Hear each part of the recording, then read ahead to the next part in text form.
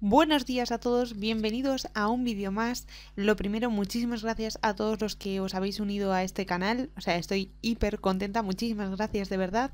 Y nada, hoy os traigo un vídeo más que trata sobre un mod espectacular. Em, a mí me, me alucina lo que es la idea, me flipa, pero sí que es verdad que no sé hasta qué punto creo que en los Sims em, lo utilizaría demasiado, ¿no? No sé si es un mod al que yo le daré mucho uso o eh, incluso lo probaría, porque de momento pues me entretiene bastante los Sims tal y como están. Y se trata ni más ni menos que el SimSync es el antiguo Sims Multiplayer, el multijugador, que ahora pues le han cambiado el nombre. Sí que es verdad que creo que este mod se eh, publicó a finales de 2019, pero bueno, ahora pues eh, le han hecho un update y os lo traigo. ¿Qué podemos hacer con este mod? Pues muy fácil, tal y como su nombre de multijugador indicaba y ahora pues el sync de sincronizar nos puede sugerir, podemos jugar a los Sims con amigos. Es decir, un amigo en su casa con su ordenador y yo en mi casa con mi ordenador jugando a los Sims 4, podemos jugar juntos en la misma casa. ¿Es así de simple? Sí y no.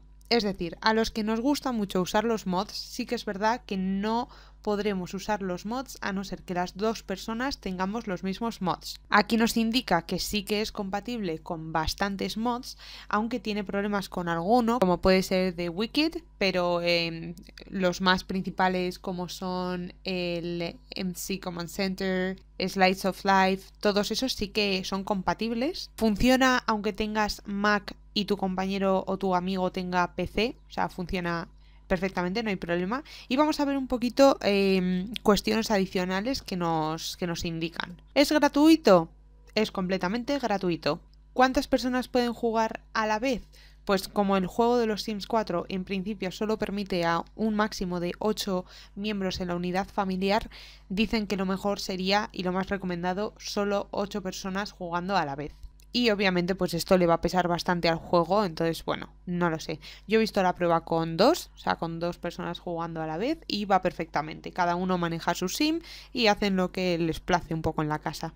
¿Tengo que transferir las partidas guardadas y los mods?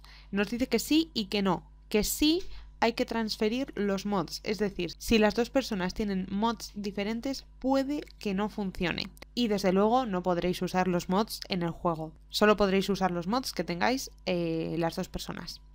Y no, no hace falta eh, compartir las partidas guardadas. Se supone que cuando le das a guardar como, porque no se puede dar a guardar sin más, hay que guardar como la partida y sobreescribir la que tengas si es que ya has jugado más veces se guarda en cada, en cada origin de cada persona que haya jugado. Aquí nos indica, pues eso, que si quieres jugar con mods, lo ideal sería tener una carpeta con los mods que tengáis todas las personas que queréis jugar. También nos indica que todas las personas que quieran jugar tienen que tener su propio pack, no puedes compartir el juego.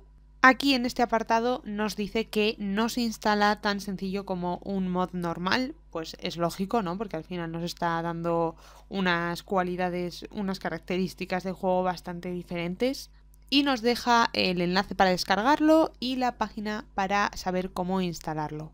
¿Podemos crear casas y construir? En principio no. Nos dice que lo mejor es que compremos una casa que ya esté hecha, amueblada y que juguemos ahí. Y en esta casa, pues eso, lo que os he comentado, cada persona tendría control sobre el sim que, ellos elijan y ya está. O sea, es como dos juegos separados, pero en la misma casa conviviendo. También nos indica que no se puede tener a dos jugadores jugando a la vez y viviendo en dos casas diferentes. Nos dice que el modo construir ahora mismo está en fase experimental, entonces de momento pues que no funciona muy bien o como a ellos les gustaría. Además, sobre el cash nos indica que si uno de nuestros sims, de las personas que está jugando, se va al cash, el otro jugador se quedará en pausa.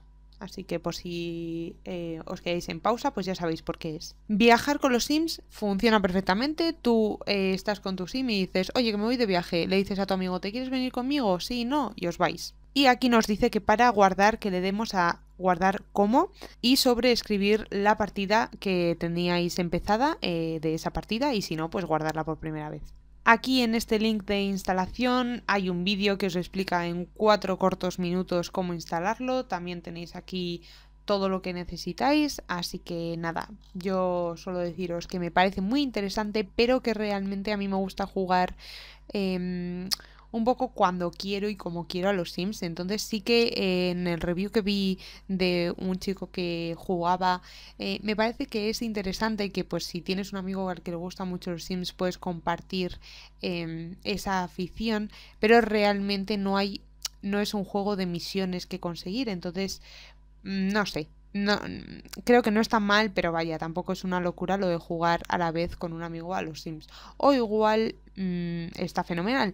Si consigo contactar con algún amigo que, que, quiera jugar, que lo intentaré, os haré una review más en profundidad y si no, siempre podéis probarlo vosotros mismos. Y la sorpresa que os quería comentar es que eh, Kawaii Stacy ha anunciado que va a lanzar un mod que se llama Animal Crossing Challenge porque eh, considera que hay muchas personas pues que en esta cuarentena por los tiempos que estamos viviendo les gustaría jugar a Animal Crossing pero por eh, porque no hay stock en el momento de consolas, pues no pueden hacerlo. Así que aquí nos comenta un poquito en su web, que os la dejo en la descripción, al igual que todo lo del mod que hemos comentado. Nos comenta que ha hecho varias funciones añadidas para sentir lo que sentiríamos jugando a Animal Crossing. Así que estoy eh, emocionadísima porque yo sí que es verdad que ahora no juego a Animal Crossing, pero jugué cuando era súper pequeña con la Nintendo DS y me va a encantar probarlo. Mm, fecha, no se sabe fecha todavía,